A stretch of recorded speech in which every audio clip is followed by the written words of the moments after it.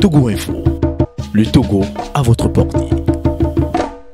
Je pense que la communauté internationale joue un rôle très fondamental dans euh, la décision électorale que nous sommes en train de vivre aujourd'hui.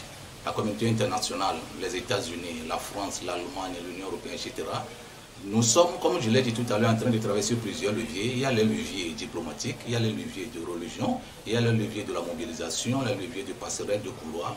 Donc nous sommes en train de jouer sur plusieurs leviers, ce n'est pas seulement sur le plan diplomatique, mais l'ensemble de ce que nous sommes en train de faire sur ces différents leviers, je pense que ça va donner bientôt dans les jours qui arrivent euh, la joie ou la victoire effective de ce que le peuple togolais attend. Et donc la, euh, la communauté internationale ne s'est pas tue vous savez, la diplomatie, c'est complexe, la diplomatie, c'est profond, donc nous sommes en train de travailler.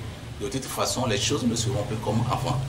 Et personne ne peut dire aujourd'hui que les choses, ce que nous sommes en train de vivre, va, ne, va rien donner. Parce que c'est la première fois dans l'histoire du Togo, dans l'histoire électorale du Togo, qu'on a fait une élection et que la communauté internationale, du coup, se mobilise par rapport à la victoire qu'on doit rétrocéder au peuple. C'est la première fois. On n'a jamais fait d'élection que les États-Unis ont proposition comme ils sont en train de le faire.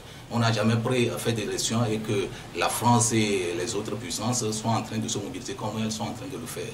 Et puis je pense qu'à l'heure actuelle, il n'y a pas de pays occidental qui a félicité fort par rapport à ça. Donc je pense que les pressions sont là, les pressions internes et les pressions externes de toute façon, vont obliger fort à rendre le tablier, euh, à, se ranger du côté du peuple pour euh, qu'il sorte de la grande...